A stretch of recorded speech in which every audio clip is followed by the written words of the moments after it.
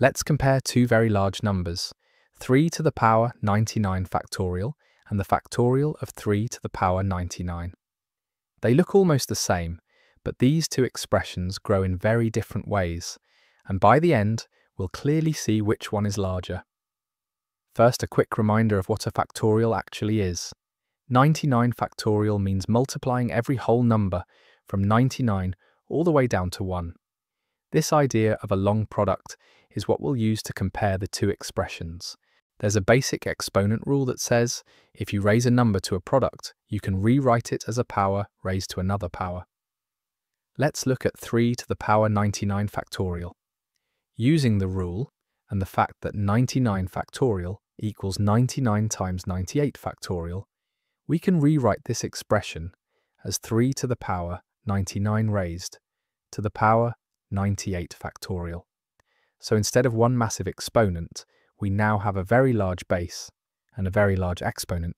That rewrite is the key step. Now let's look at the factorial of 3 to the power 99. By definition, this means multiplying every whole number, starting from 1 all the way up to 3 to the power 99. So it's 1 times 2 times 3, and so on, until we reach 3 to the power 99. That means this factorial contains exactly 3 to the power 99 terms.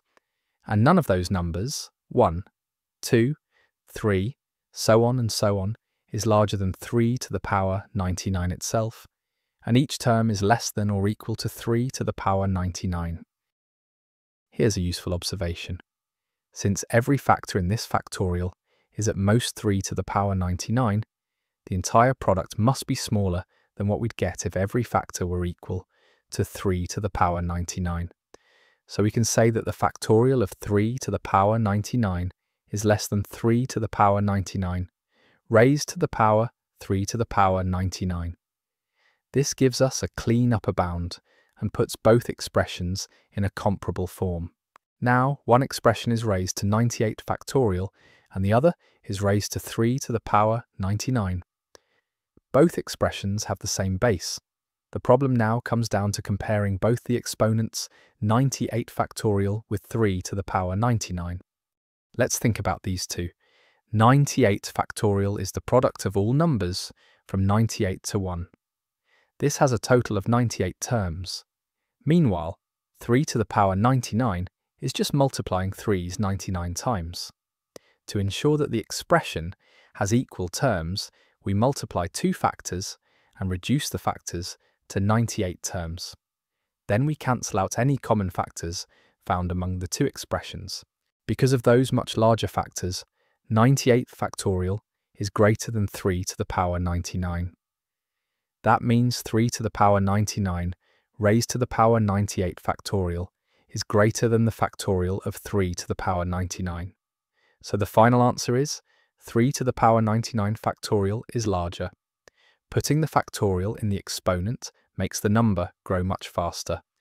Here is a general comparison that often appears in problems involving exponentials and factorials. The first step is to rewrite both expressions so they share the same base. Once the bases match, the size of the numbers depends entirely on their exponents.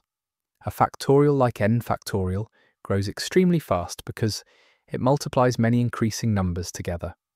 As n becomes larger, this growth quickly dominates expressions built from repeated powers. So when the base is greater than 1, placing the factorial inside the exponent produces a much larger value.